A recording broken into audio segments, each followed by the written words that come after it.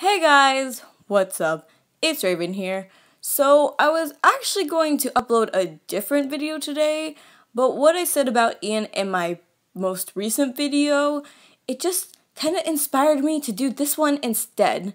So, basically, I just wanted to do a short little video that's just my opinion on Ein's character. Feel free to share your opinion of him in the comments down below. However, and I mean this is a very big however, please be mindful of others' opinions. I have no problem with you disagreeing with my opinion and even hating my opinion. I honestly don't really care that much. Like you you have your opinion. Like that's great. That's wonderful. But the moment you start being mean and or hateful to my subscriber family, I will release my inner Hulk and block your ass in a matter of 5 seconds. Okay? Okay. Now that we're on the same page, let's get into the video. So, let's talk about Ein, since that's the reason why you're watching this video. Ein was first introduced to us in the second season of Phoenix Drop High as a mysterious troublemaker werewolf dude. We were falsely led to believe throughout the season that Ein was a sweet, misunderstood soul when he's actually a cruel, sinister, power hungry, obsessive bastard.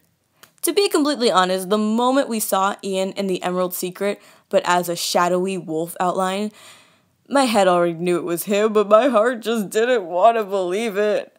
Also, I kept bouncing around between it being Ein or Kai since I remembered Aphmau and Sylvana's conversation about Aph's ex boyfriend in one of the recent seasons of My Street. I really can't remember which one, if it was, I want to say it was three. I'm pretty sure. I feel like it had to have been three. Anyway, when Ein truly revealed himself in The Emerald Secret, though, my heart dropped because, as I said before, I just didn't want my theory to be true. This is the one time, the one time I didn't want to be right. I was utterly heartbroken and emotionally scarred after learning Ein's real personality and motives. But after a lot of deep thinking and ponder, pon, and pondering, I have reached a conclusion.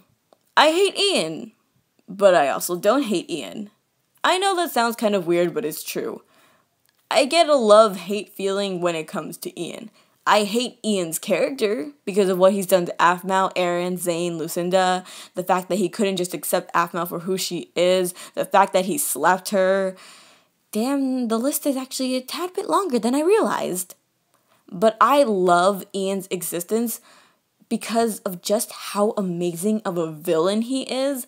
A sinister villain that is well crafted makes your blood genuinely boil. They make you want to chuck a chair out the window, along with a table and maybe a lamp or two. So you can hate Ein all you want, but at the end of the day, he brought so much tension and flavor to my street and Phoenix Drop High that wouldn't have happened otherwise.